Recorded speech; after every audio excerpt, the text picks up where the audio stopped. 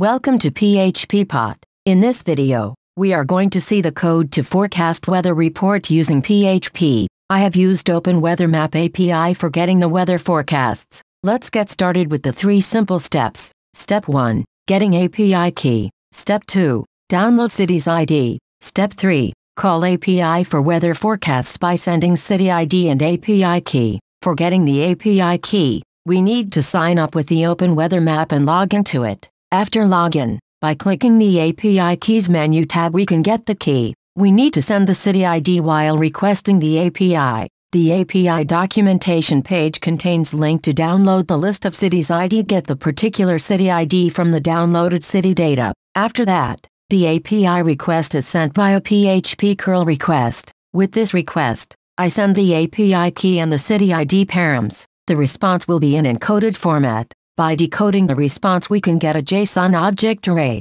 This is the PHP code for sending the API request and get the weather forecast JSON response. In this file, the HTML block displays the weather data, like temperature with time location and more. By running this example, we can see the dynamic weather report in the browser. This is the output of this example program displaying sufficient weather data. My name is Vincy. Thank you for watching this video and I hope you found this tutorial to be useful. If you are looking to build fantastic applications, I welcome you to subscribe the PHP Pot channel for more awesome videos.